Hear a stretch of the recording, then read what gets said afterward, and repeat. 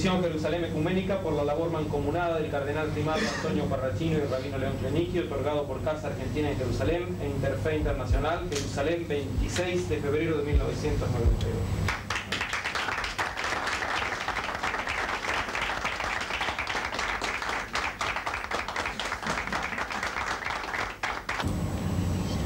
Loado sea Dios, porque Él fue quien hizo posible, quizás eficaz, ni menguados esfuerzos en pro del diálogo judeo-católico.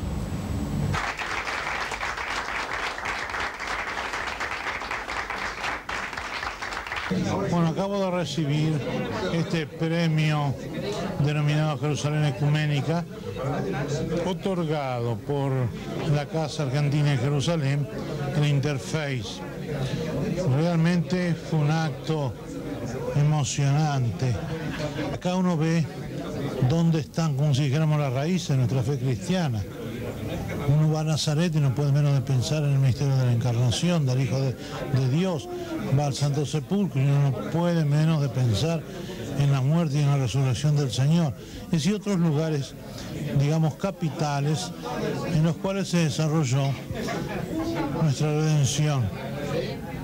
Agradecí cordialmente la distinción que se me había dado, resaltando también el trabajo realizado antes del Concilio Vaticano II por personas que fueron pioneras en Argentina del diálogo judeo-católico, recordando al rabino Schlesinger, ya difunto, y al padre Carlos Cuchetti, que vive su juvenil ancianidad todavía en nuestra capital.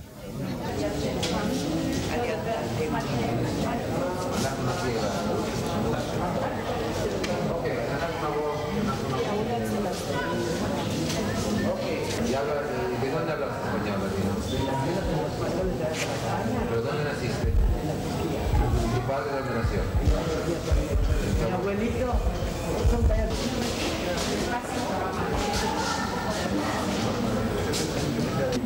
ובמשך השנים הראשונה, המזל הגדול שלי היה שזה היה בביתה, ואנחנו ידוע מבוגריה.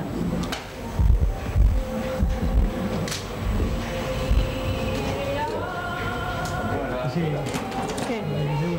כל טוב.